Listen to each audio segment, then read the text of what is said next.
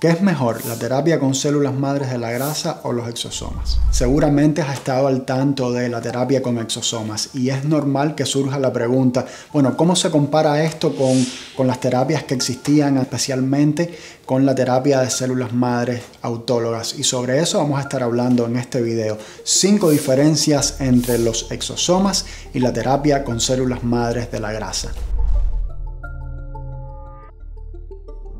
La primera de las diferencias es la fuente. Cuando hablamos de exosomas nos estamos refiriendo a un producto de donante, a un producto halogénico.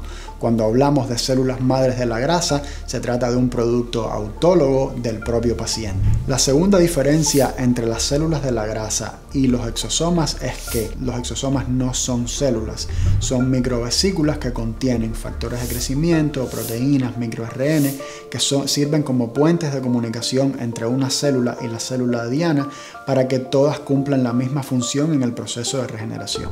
Lo tercero es la potencia. La calidad y la potencia de este, de este producto, de estas células, depende del estado general de salud del paciente.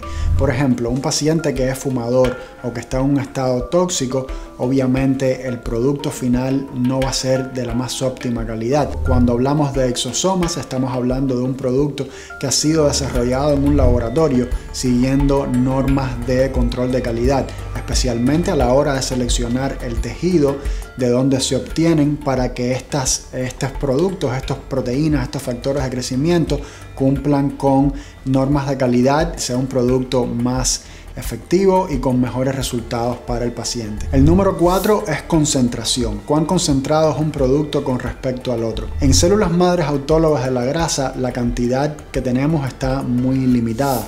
Digamos, en 60 cc de grasa se pueden obtener entre 30 y 60 millones de células nucleadas.